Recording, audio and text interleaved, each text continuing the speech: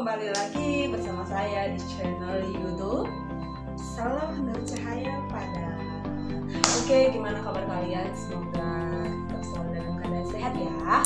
Jangan lupa sebelum melanjutkan video ini Klik dulu subscribe yang ada di bawah. Satu, dua, tiga, empat, lima Thank you. Oke, seperti yang sudah kita pelajari sebelumnya, bahwa interaksi antar komponen ekosistem itu ada beberapa bagian ya di mana uh, sebelum kita bahas bagian-bagiannya kita akan bahas terlebih dahulu ataupun saya mau mengingatkan terlebih dahulu bahwa komponen uh, biotik dan komponen abiotik itu memiliki interaksi yang bisa terjadi antar spesies yang sama maupun spesies yang berbeda. Nah, interaksi antar spesies itu berarti setiap makhluk hidup itu tidak dapat hidup sendiri, melainkan harus berkelompok menempati suatu ruang tertentu dan saling berinteraksi, baik yang bersifat positif, negatif, netral, atau kombinasi. Jadi sudah jelas ya, ciri-ciri makhluk hidup adalah hidup berkelompok. Oke, berikut adalah tipe yang terjadi antara interaksi antar spesies. Ada beberapa bagian ya. Yang pertama ada netralisme. Netralisme artinya hubungan interaksi dalam suatu makhluk hidup tersebut berbeda makhluk hidup yang berbeda jenis yang tidak saling mempengaruhi meskipun makhluk hidup tersebut berada dalam habitat yang sama.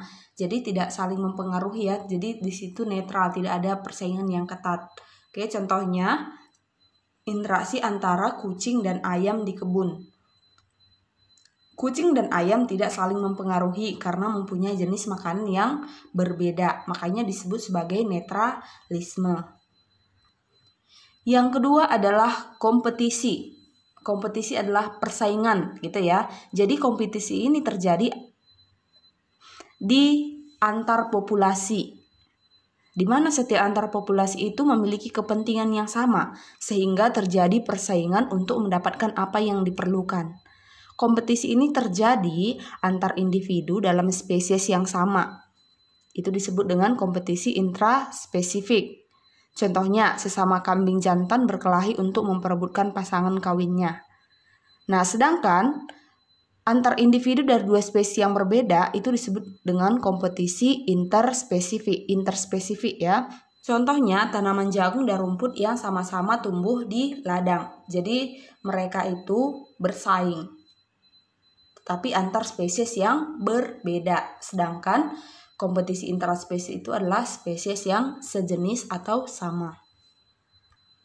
Selanjutnya komensalisme. Komensalisme itu merupakan hubungan antara dua atau lebih spesies yang salah satu untung dan spesies yang lainnya tidak terpengaruh, tidak untung dan tidak rugi. Itu ya komensalisme. Jadi hanya satu yang untung, yang lainnya tidak untung dan tidak juga rugi.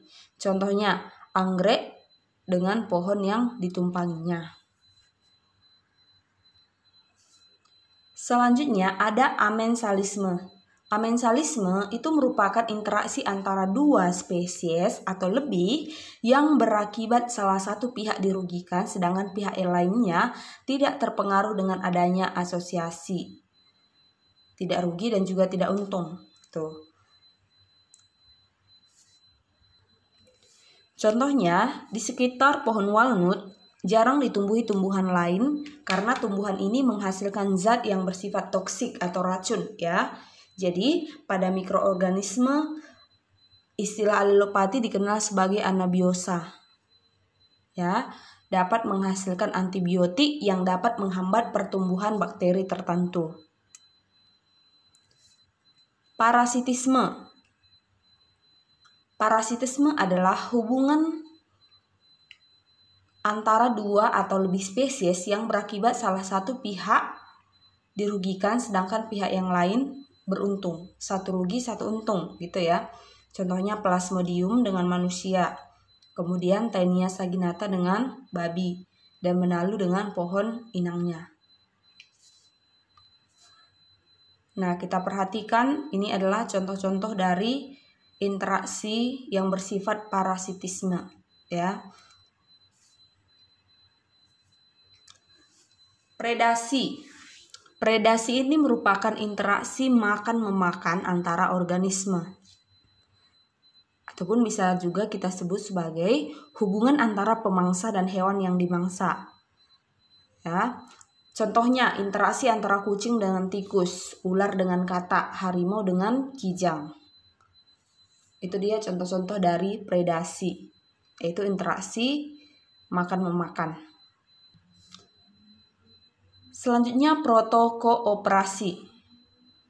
Protokooperasi yaitu interaksi antara dua spesies atau lebih yang masing-masing pihak memperoleh keuntungan. Ya. Masing-masing pihak memperoleh keuntungan. Tetapi asosiasi yang terjadi tidak merupakan suatu keharusan. Contohnya itu kita perhatikan ada pada kerbau ya, interaksi terjadi pada kerbau. Mutualisme. Mutualisme merupakan hubungan antara dua organisme yang berbeda spesies yang saling menguntungkan kedua pihak. Saling menguntungkan kedua pihak. Mutualisme ada dua. Yang pertama fakultatif dan kedua obligatif. Fakultatif merupakan spesies yang dapat hidup tanpa organisme partner mutualismenya.